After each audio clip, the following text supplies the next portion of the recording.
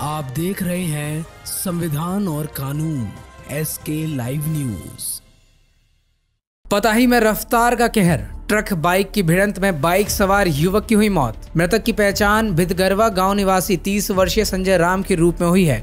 मिली जानकारी के अनुसार संजय खोड़ी पाकर स्थित संगम घाट पर जल लेने बाइक से गया था। जल लेकर लौटने के क्रम में भंडार, पताही मुख्य मार्ग पर पताही दिशा से आ रही अनियंत्रित ट्रक ने बाइक सवार संजय को ठोकर मार दी। ग्रामीण बाइक सवार को आनंद फानंद में अस्पताल ले जा रहे थे।